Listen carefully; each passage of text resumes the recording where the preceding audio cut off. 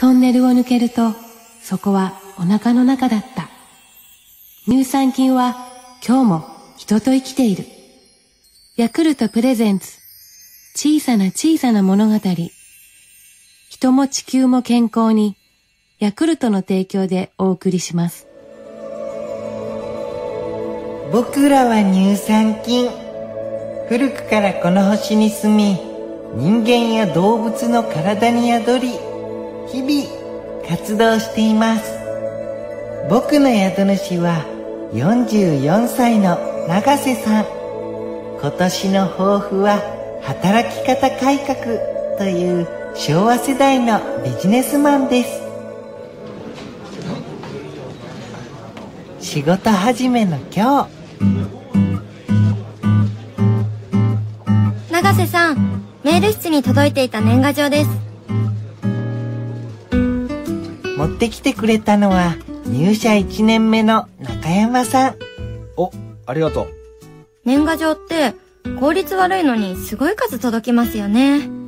なんでメールにしないんですかね？あ確かにすごい数だね。でも永瀬さんは毎年年賀状を見るのが楽しみ。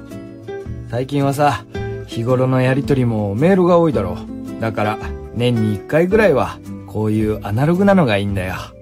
確かに意外な人から届くと嬉しいかも。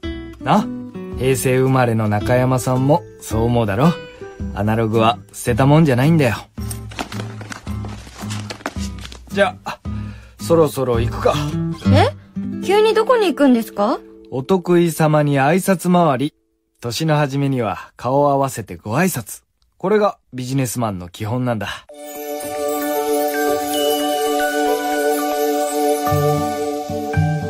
あ効率を重んじる働き方改革の時代だからこそ、節目節目を大切に。長瀬さんの思い、若い中山さんにも伝わるといいね。僕ら乳酸菌の思いは一つ。みんなの健康だよ。お腹の調子を整えて、今年もちょっとつ猛進、頑張るからね。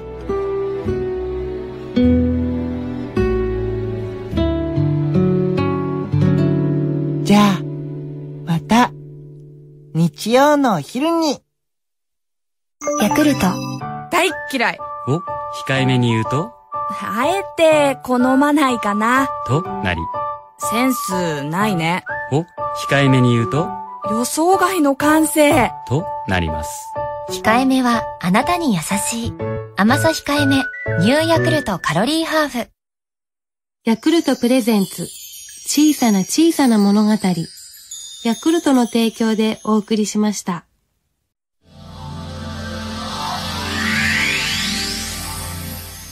トンネルを抜けると、そこはお腹の中だった。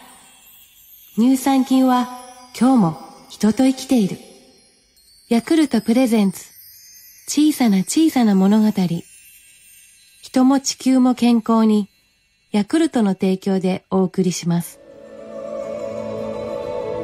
僕らは乳酸菌。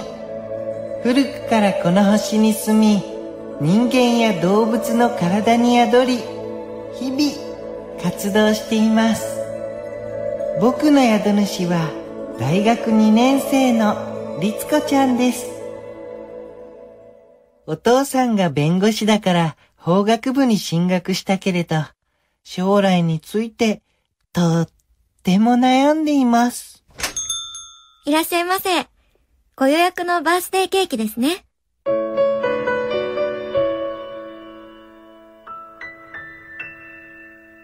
実は今、めちゃくちゃお菓子職人になりたいんだよね。ケーキ屋さんでバイトを始めて2年。パティシエの仕事を見ているうちに興味が湧いたんだけど、お父さんはやっぱり弁護士さんになってもらいたいみたい。期待は裏切りたくないけど、お菓子職人にもなりたいし。悩み続けて、とうとうパティシエの店長さんに相談してみることに。すると、律子ちゃんは今いくつなの？えっと、二十歳ですけど。二十歳ならもう親離れしなくちゃな。やらない理由を親のせいにするなんて子供のすることだよ。本当にお菓子職人になりたいならきちんと話して分かってもらわなくちゃ。それが大人ってもんだろ。はさすが店長さん。いいこと言うね。大人になるって大変だけど、自分で決めて責任を持つ人生は、きっと楽しいことがいっぱいだよ。明日、成人式の後に、話してみようかな。僕ら乳酸菌は、みんなの夢を応援しているんだ。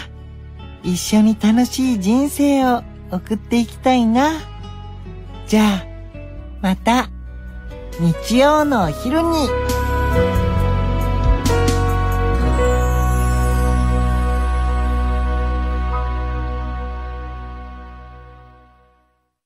ルト。見てこの腹筋シックスパックこれが噂の筋トレ女子。こっちも見て上腕二頭筋すごまあ、私も筋力には自信あるけど。見た目じゃ全然わからないわよ何筋よ？乳酸菌。あなたの体に嬉しい筋力。乳酸菌白タ株の乳ヤクルトカロリーハーフ。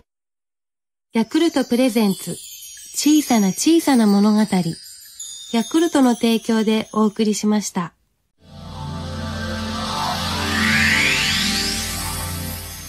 トンネルを抜けるとそこはお腹の中だった。乳酸菌は今日も人と生きている。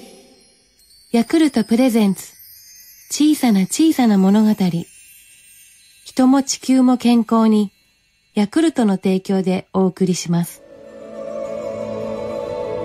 僕らは乳酸菌。古くからこの星に住み、人間や動物の体に宿り、日々活動しています。僕の宿主は59歳のりょうさんです。定年後も仕事をしたいけれど、新しい環境に人間関係、考えると億劫で予定は未定です。今日は奥さんの提案で名画座に月に一度の休日デートです。ほら、これこれ。懐かしいでしょ？未知との遭遇。あれ？これは二人が初めてのデートで見た映画だ。りょうさんたら、映画の感想、全然言わなかったわよね。いやー、あの時はまだ19歳で緊張もしていたし、内容なんてわからなかったんだよ。俺にとっては女の子とのデートが未知との遭遇だったからな。へえ、りょうさんにもそんな時代があったんだ。あれから40年か。こんなに長く続くなんて、未知との遭遇も捨てたもんじゃないわよね。ま、そういうことだよな。これからも、たくさんありそうじゃない？未知との遭遇。そう考えると、定年も悪くないわね。確かに、定年後の環境や人間関係は未知との遭遇だけど、りょうさんなら楽しめるんじゃないかな。りょうさん、人生はまだまだこれからだよ。僕ら乳酸菌はいつもお腹の中で新しい仲間を待っているんだ。力を合わせてお腹の環境を整えていくよ。じゃあ、また、日曜のお昼に。ヤクルト。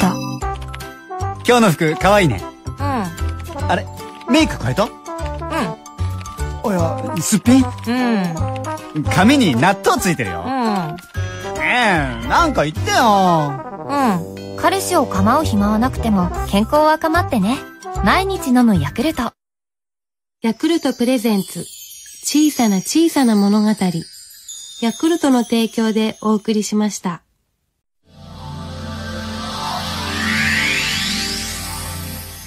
トンネルを抜けるとそこはお腹の中だった。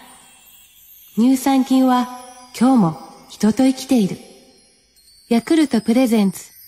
小さな小さな物語。人も地球も健康に。ヤクルトの提供でお送りします。僕らは乳酸菌。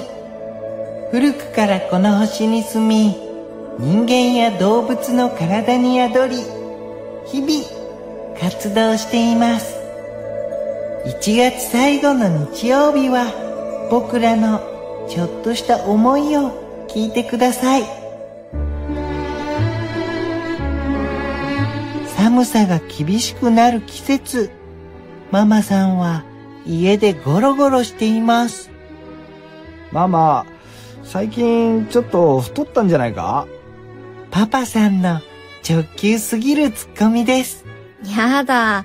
パパったら気のせいよ。寒いから気膨れしているだけじゃない？あれれ？余裕のリアクションだねそれに、人は外見より中身で勝負でしょ？パパだって、優しい私が好きだって言ってくれたじゃない。それはそうだけど。最近寒さでお出かけも少なめなママさん運動不足になっているからパパさんは心配なんだよね。そこで今日の乳酸菌ワンポイント。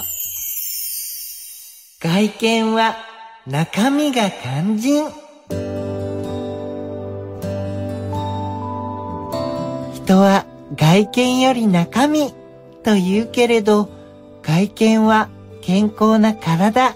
つまり中身があってこそ。輝くんだ。体重オーバーや肌荒れ目の下のクマは体調が崩れるサインだよ。冬だって寒さに負けず適度に運動して体調管理をしてほしいな。僕ら乳酸菌は寒い冬もお腹の中からみんなの健康を見守っているよ。外見はお腹も肝心。じゃあまた日曜のお昼に